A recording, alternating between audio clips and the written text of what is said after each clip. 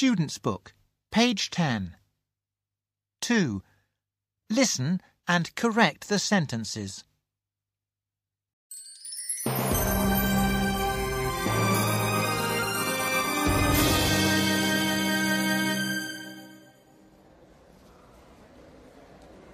you really think the first line is in the museum? The map shows a shield. Where do you find shields? In a museum. Well, I hope you're right.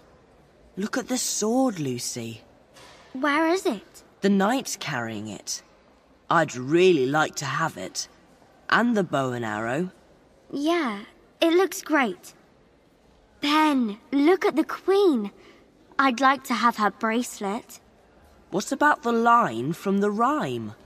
Where shall we look? I'd like to see things from Egypt, but the museum is so big. Let's ask someone. E- excuse me? Hmm? Where are the things from Egypt? The Egyptian room is on the second floor.